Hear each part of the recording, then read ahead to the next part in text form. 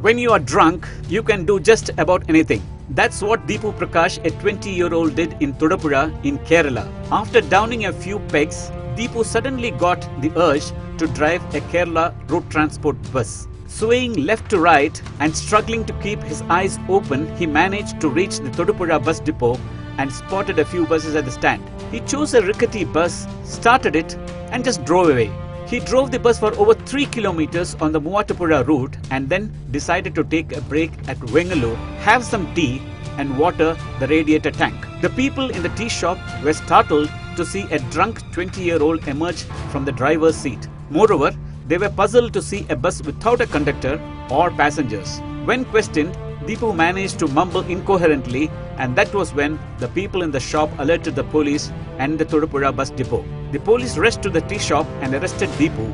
When questioned, Deepu let out a sheepish smile and told the police that from his childhood he had a desire to drive a bus, and with a tank full of liquor in his tummy, he just fulfilled the desire. The police arrested Deepu on charges of drunken driving and stealing a bus. So, folks, be careful when you park your car outside in God's own country. Anything can just happen.